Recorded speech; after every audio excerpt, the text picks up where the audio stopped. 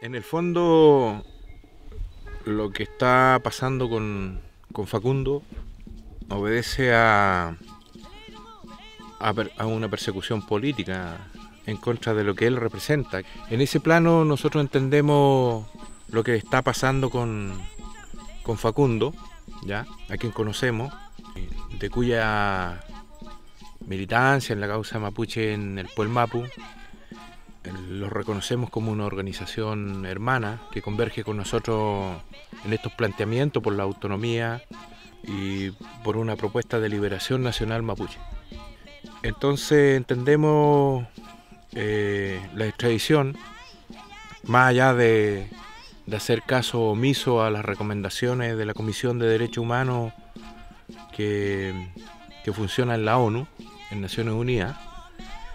tiene que ver con la presión que ha ejercido el empresariado, los sectores comprometidos en el conflicto con nuestro pueblo, de, arremeter en contra del movimiento, particularmente del movimiento mapuche que abrazamos con mayor fuerza la reivindicación territorial para sentar la autonomía revolucionaria que, que nosotros luchamos permanentemente, ¿ya? Por lo menos desde esta parte del Gulumapu, el territorio ancestral mapuche que confronta muy fuertemente en contra del Estado chileno y los intereses del gran capital, eh, solidarizamos y ciertamente vamos a acompañar la situación que pueda vivir nuestro Peñi, el lonco Facundo Jones Guala en las cárceles chilenas. Lo consideramos un preso político,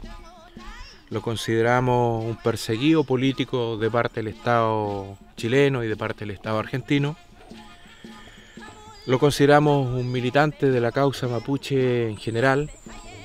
y por lo tanto también hacemos un llamado al movimiento mapuche en su conjunto a acompañarlo y a solidarizar con su situación para lograr su pronta libertad.